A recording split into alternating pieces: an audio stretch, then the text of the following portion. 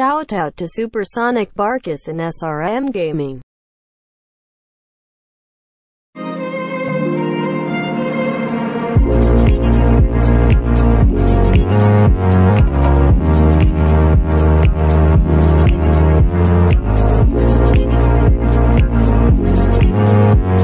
What's the worst of the index on to?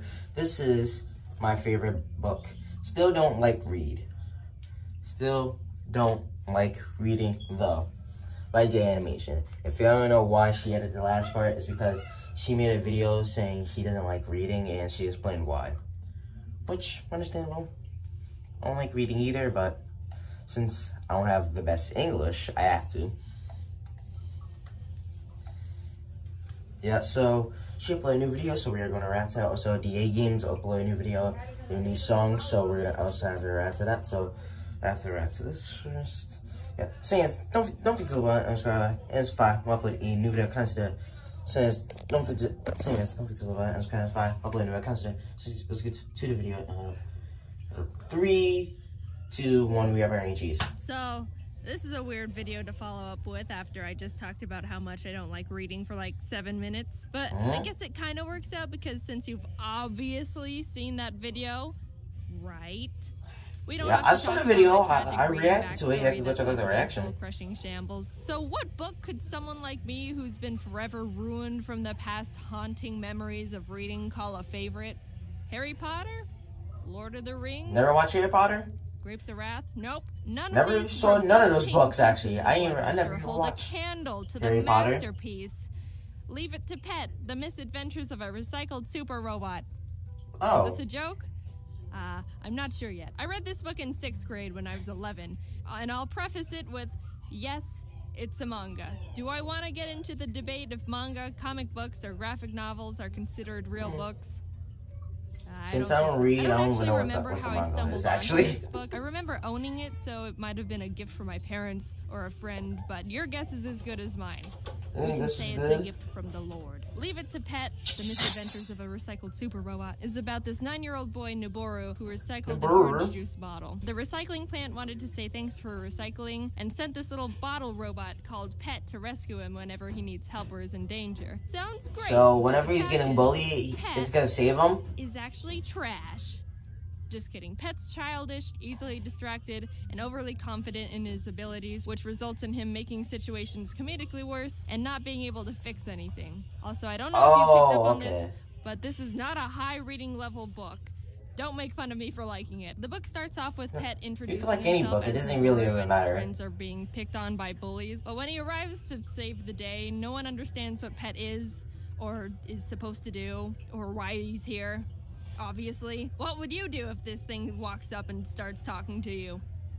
I would say, what the? Oh! So Pet explains, "I'm the orange juice bottle you recycled the other day," and Noboru's like, "I don't know what you're talking right about." there. And Pet's Oh. like, "I can't believe you don't remember, freak." And the Freak. grows from there. There's not really a specific story. It's more episodic chapters where the characters are in different everyday scenarios that just get a little out of hand. And Pet, of course, is being a little bag of trash, complicating things that should have been an easy fix or weren't even problems to begin with. Chapter 7 is But a good just one. making Noboru's more out fishing trouble. with his friends and his line is caught on some rocks, so he calls for Pet. Leave it to Pet, what seems to be the problem? And as Noboru is explaining, Pet gets overpowered by the current. Not a problem. It's like it never happened. Pet assesses the situation. I see your hook is stuck at the bottom of the river. Ka-ching, ka-ching. I know Chong. exactly what to do. Whoosh. And he cuts the line off. Noboru's like, what the heck, dude? And Pet's like, what, Great. you wanted that old thing? And he's like, yes, of course I wanted it. More characters are introduced later on, but my favorites are P2, where in his debut, when he's describing how he's the new and improved pet model with his 200% faster Hmm. speed, larger body, but lighter weight. Uh, he blows away because he's so light, and Pet's all, dang, that's awesome, and explodes off his arms and legs to try and be lighter too. I wish humans could do that. Also, Bottle Doggy is a Why great wish- wish humans could do that? Mind. body around on a leash. I think the reason I love this book so much is, frankly, a lot of nostalgia. Not sure a 20 something year old would pick this up and deeply connect with Bottle Doggy's character arc. But the author, Sonishi Kenji, also created, in my opinion, a really cute little knucklehead I just want to have in my life. And 11 year old me was obsessed with. Pet became For one of my favorite reason, characters for a bit, and I would draw him all like the something time. that would In class, we had our desks arranged in for groups, and. I had a I don't bit know of why. open space on the side because my desk was on the corner. So I drew a little pet and stuck him on the side for the world to see how much of a stan I was. Uh, no one cared. Why are you drawing orange juice? I would make my own little original Orange juice. characters of orange juice if you robots want. that I would want. I believe the original term might be trash sona and recycled extra things in hopes I could have my own pet. And then she just takes her dad's soda. Up. I was really big on imagination and stuff as a Wow. kid, so anything that played around with enhancing Wow. reality and fun and creative waves was right up my alley. And it taught me how to recycle, so you're welcome, Greta Thunberg. I don't think I've ever heard anyone talk about this. Okay, book. so this book kind of helps kids. like it slipped under the kinda radar help kids recycle think more. it deserves more love So, the humor in it was suitable this for is kinda a good 11-year-old book for kids, if you think about it. Read through again, and the humor is still about it, this kinda helps kids so recycle more. for all ages, or I haven't mentally progressed since grade six. Of course, naturally, there's nothing wrong with having things targeted towards. Oh, Adventure Time, let's go. think That was just awesome show, Cartoon like show. Watch that. Adventures of a Recycled Super Robot, bringing families and people of all ages together with his charm, froggy hat, I actually never massive read this book before, muscles. actually. I'm telling you, there's something in here for everyone. Sure, the story is pretty Yeah, I'm simple, flex, but the flex, humor, guys. I'm not even that strong, I'm just kidding. is great for all ages and Guys, doesn't I'm try actually to not dumb strong, anything down to just- baby yeah. younger readers. I think it's easy to think kids are children until they're not.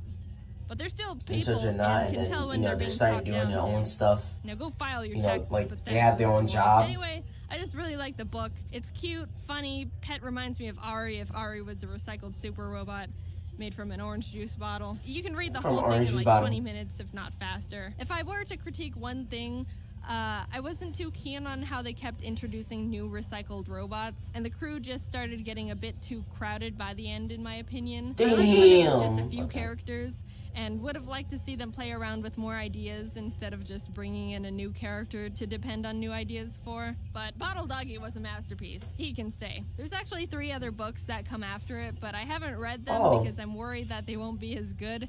And I want to remember Pet as the example of perfect literature it is. Are there hundreds Because sometimes when the first- enjoy more than this one you know, I gave a chance? sometimes the sequels are kind of bad. But am I still gonna end the video without giving a reasonable explanation for me not trying to find them? Yep. Okay. Hey again, it's me. Uh, thanks for watching the video. I wanted to say thank you to everyone who stopped by the charity live stream the other day. I was Oh, yeah, the Mr. Beast one. stream. I actually enjoyed it, and then I was like laughing when Tifu shared Mr. Beast's phone number. But you guys don't worry, I actually really didn't even try it. Mr. Beast.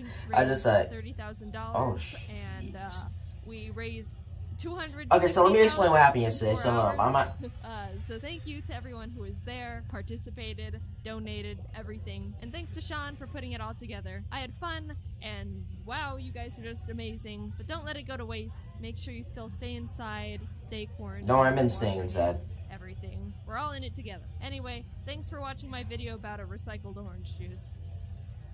Yeah, so if y'all don't know, um, so if y'all don't know, yesterday, um, Tifu shared the link to the um live stream, and then people was you know trying to join, and, and I think it made the live stream crash.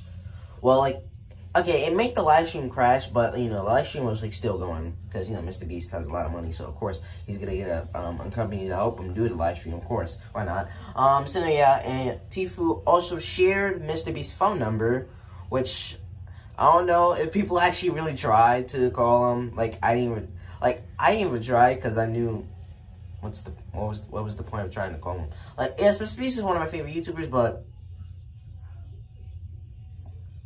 what's the point? And, and, Mr. Beast doesn't want people calling him. You know, fans calling him.